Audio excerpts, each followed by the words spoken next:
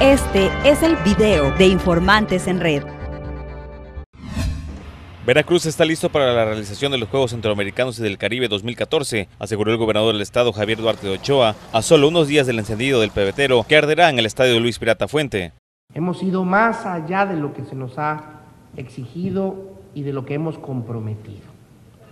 Estamos construyendo la mejor infraestructura deportiva de toda la historia de Veracruz. Estamos, de igual manera, organizando con todos los elementos de la mejor calidad estos juegos, con los más altos estándares de calidad para poder poner en alto, muy, muy en alto, el nombre de Veracruz y por supuesto de México.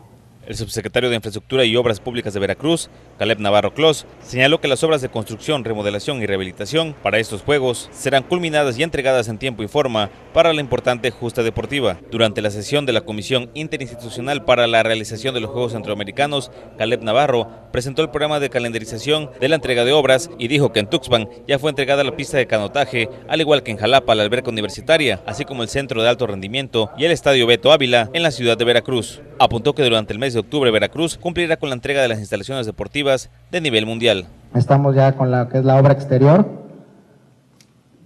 y afinando en algunos acabados en, en el interior y con eso estaríamos concluyendo, señor, con las revisiones que ODECABE nos hará para poder certificar las, las instalaciones, entregando instalaciones con todas las certificaciones necesarias para tener unas competencias como nos los marca la ODECABE.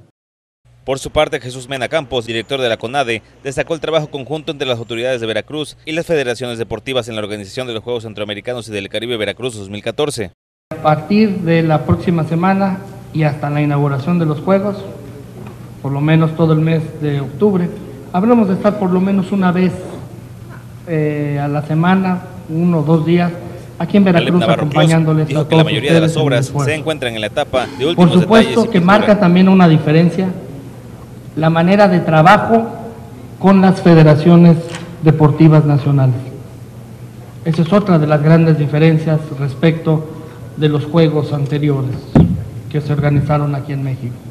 Porque vamos de la mano y vamos a, a seguir con la estrategia para seguir todos apoyando en lo que nos compete y lo que nos corresponde a estos Juegos Centroamericanos. Alejandro Valencia, Informantes en Red.